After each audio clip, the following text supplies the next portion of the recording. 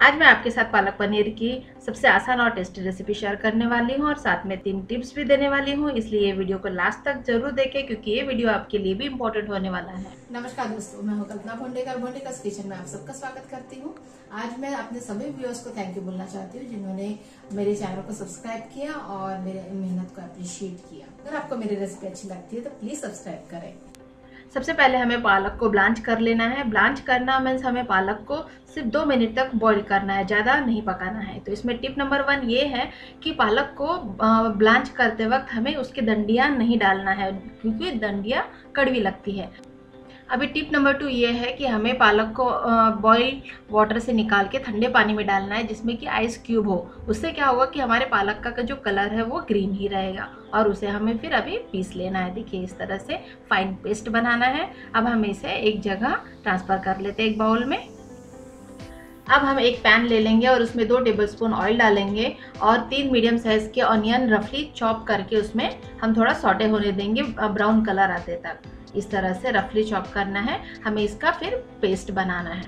बहुत बढ़िया से पाँच से छः मिनट लगते हैं। इसके कारण क्या होता है कि जो अपना जो टेस्ट है, मसाले का बहुत बढ़िया आता है। अब हमें इसे पीस लेना है। फाइन पेस्ट बना लेना है। ये देखिए इस तरह से बहुत बढ़िया। अब इसे साइड में रख देंगे और एक पैन में हम पाँच से छः टेबलस्पून हम ऑयल ले लेंगे या फिर आप बटर भी ले सकते हैं। इसमें मैंने वन टीस्पून जीरा डाला है और फिर हमने जो ऑनियन का जो पेस्ट बनाया था, वो हम इसमें डाल देंगे और अच्छे से इसे लाइट ब्राउन होते तक सॉटे करेंगे। हमें जब तक सॉटे करना है, जब तक कि जो जो अनियन का जो स्मेल आती है, वो स्मेल हमारी चली जानी चाहिए। बहुत बढ़िया। इसी तरह से हमें सॉटे करते रहना है। थोड़ा सा कलर अभी, देखिए, ब्राउन कलर आते आ गया है और जो अनियन का पेस्ट है, उसने ऑयल भी रिलीज़ कर दिया। तो इस समय में हमें क्या करना है, दो टेबल स्पून हम जिंजर गार्लिक पेस्ट डाल देंगे। इसमें और इसे अच्छे से सॉटे कर लेंगे दो मिनट के लिए। और इसे भी हमें इन दोनों के मिक्सचर को भी अच्छे से ऑयल रिलीज़ होते तक भूनना है। अच्छे से फ्रेग्रेंस आते तक बहुत ही बढ़िया खुशबू चलने लगी है। वैसे खुशबू चलना चाहिए।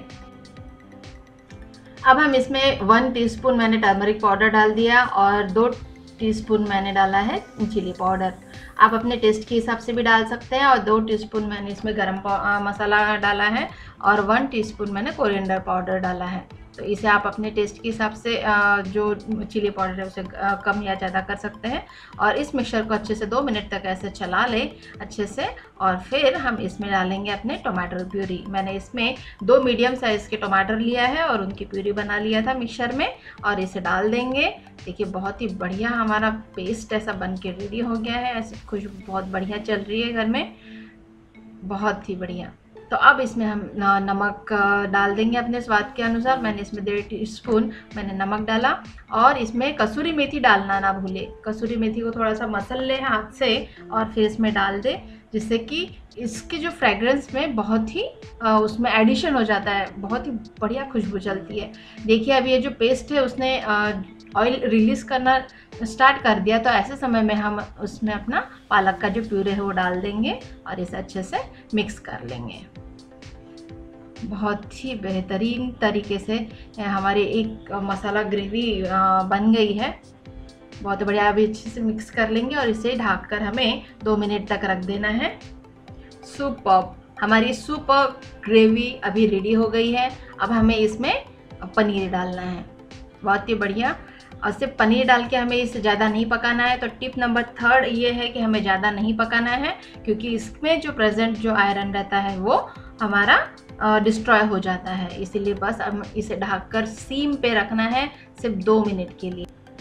इसमें मैंने आधा गिलास पानी ऐड कर लिया है और अभी हम दो मिनट रखने के बाद में हमारी अभी पालक पनीर जो है वो रेडी हो गया है। बस इसमें वन टेबल स्पून हमें क्रीम डाल देना है और अच्छे से इसे मिक्स कर लेना है। आप इसमें और भी एक क्यूब बटर भी डाल सकते हैं क्रीम के साथ साथ और इसे अच्छे से मिक्स कर ले। बहुत ही बढ़िया, बहुत ही खूबसूरत टेस्टी हमारा पालक पनीर अभी बन के रेडी हो गया है तो इसे ऊपर से पनीर थोड़ा सा ग्रेट कर ले और गर्मा गर्म परोसें। आपको ये मेरी रेसिपी कैसे लगी, आप मुझे कमेंट बॉक्स में ज़रूर बताएँ।